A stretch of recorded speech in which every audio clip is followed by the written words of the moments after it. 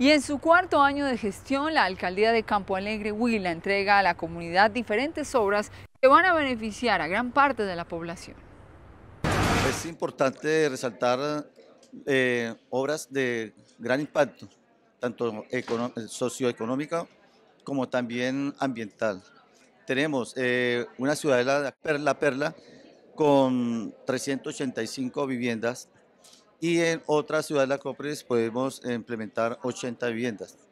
Estamos aproximándonos a casi 500 viviendas en este periodo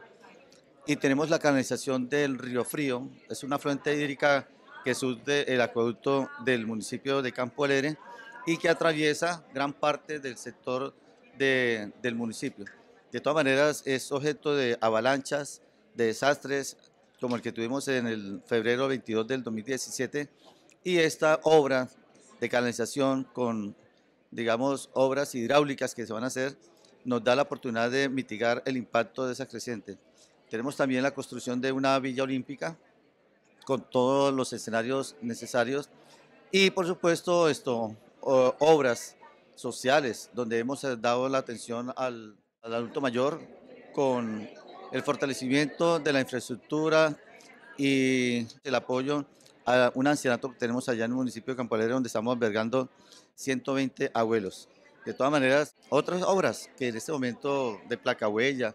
obras de recuperación de los espacios públicos, escenarios deportivos que hemos adelantado, recuperación de otros escenarios como el Centro de Convenciones que estaba en este momento en difícil situación y obras sociales como eh, la, asistencia que le hemos dado a los jóvenes, a los niños, a las madres comunitarias, a la mujer en, general y eso ha hecho que Campo de verdad tenga una oportunidad en este momento en esta administración.